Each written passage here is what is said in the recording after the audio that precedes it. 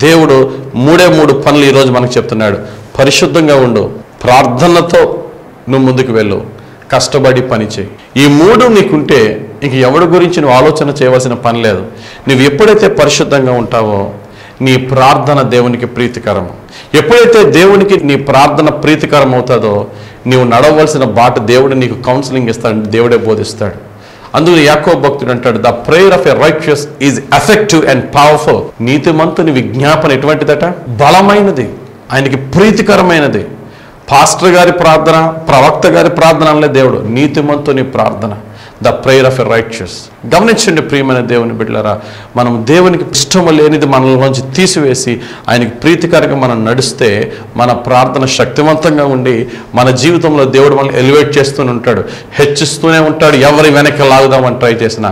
అయితే ఈ మూడట్లో కష్టమైనది ఏంటంటే పరిశుద్ధంగా ఉండడమే చాలా కష్టం. ఈ యొక్క టెంప్టింగ్ వరల్డ్లో సిన్ఫుల్ సొసైటీలో కళ్ళు మూసినా కళ్ళు తెరిచిన పాపమే కనబడే ఈ లోకంలో పరిశుద్ధంగా ఉండడం అనేది అన్నిటికన్నా కష్టమైనది. అయితే అటువంటి కష్టమైన లైఫ్ని పరిశుద్ధంగా ఉండే లైఫ్ని మనం జీవించాలి అంటే నేను ఒక సలహా ఇస్తాను. ఆ సలహాను మీరు పాటించగలిగితే మనం పరిశుద్ధంగా ఉండడానికి ఆ అవకాశం ఎక్కువ ఉంటుంది. ఏంటి ఆ సలహా తెలుసా? How to lead a holy life నేను పరిశుద్ధంగా జీవించాలంటే ఎలాగా? అంటే అనేకమైన విషయాలు చాలాసార్లు మనం ధ్యానించుకున్నాం.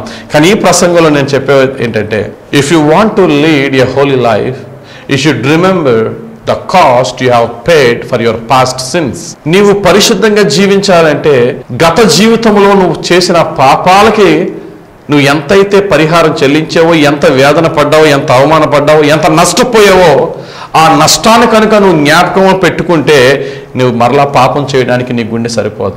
ఉదాహరణకి ఆదాము గారి దగ్గరికి వెళ్ళి అయ్యా ఆదాము గారు మీ కాస్ట్ ఆఫ్ యువర్ సిన్ పాపం యొక్క పనిష్మెంట్ ఎంత తీవ్రంగా ఉన్నదండి అని అడిగితే ఆదాం చెప్తాడు. దేవుడు ఆదాం పాపం చేసినప్పుడు ఏం చేశాడండి?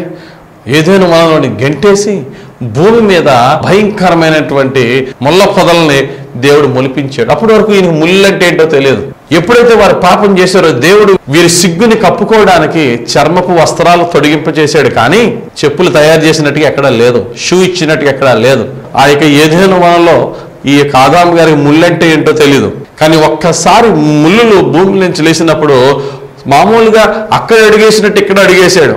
కస్ కస్ కస్ కస్ మన దిగిపోతున్నాయి కింద నుంచి పాదంలోకి. అప్పుడు అడగాలి ఆదాము గారిని అయ్యా నీ పాపం యొక్క ఫలం ఎలా ఉంది? అంటే అప్పుడు చెప్తాడు గుచ్చుకునే ప్రతి ముళ్ళు కూడా నా యొక్క సిన్ని ఎంత పెయిన్ఫుల్లో తెలుస్తుంది అంటాడు. అలాగే అవ్వ దగ్గరికి వెళ్ళి అవ్వమ్మ మరి నీ యొక్క పాపం యొక్క పెయిన్ ఎంత భయంకరంగా ఉన్నదంటే కయ్యేను ఏబేల్ని కన్నప్పుడు తెలిసింది నా పాపం యొక్క పెయిన్ ఎంత భయంకరమో. నీ ప్రసవ వేదన పెంచేస్తున్నానన్నాడు.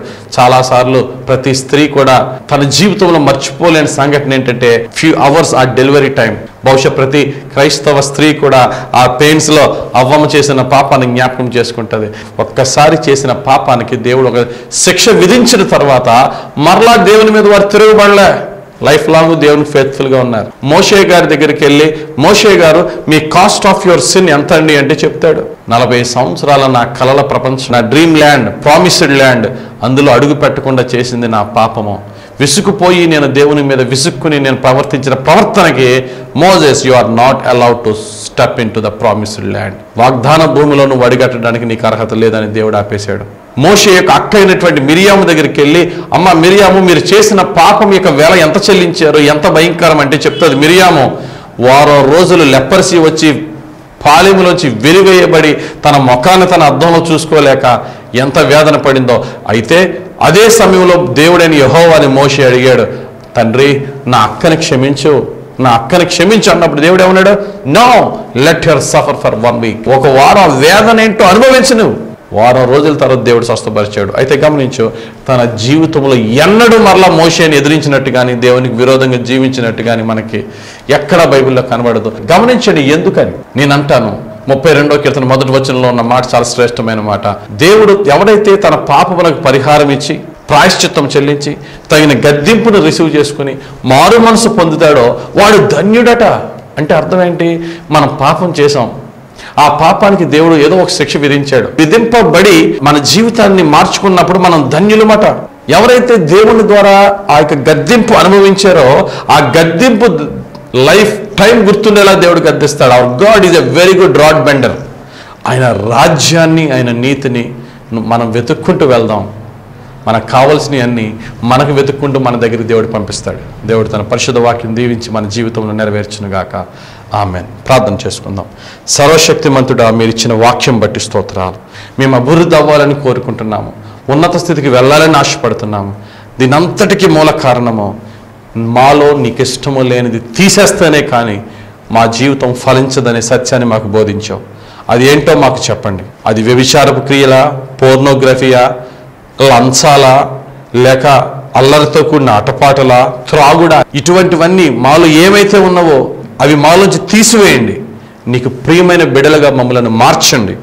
నీ ప్రార్థనతో ఎదురు చూసి నీ చిత్తమును తెలుసుకొని కష్టపడి పనిచేసి నీ కృపలో నీ తగిన సమయంలో అభివృద్ధి పొంది నీ సజీవ సాక్షులముగా మేము బ్రతికే భాగ్యము దయచేయమని గడచిన జీవితంలో చేసిన పాపము వల్ల వచ్చే శిక్షను జీవితంలో ఎన్నడూ మర్చిపోకుండా భయముతో వణుకుతో నీ సన్నిధిలో నీ పాదాల యొద్ద మా జీవిత కాలమంతా నీకు ప్రీతికరంగా గడిపి నీ కృప పొందుకునే భాగ్యం మాకు ప్రసాదించమని యేసు నామములో ప్రార్థించి వేడుకొనిచున్నాము. తండ్రి amen amen amen.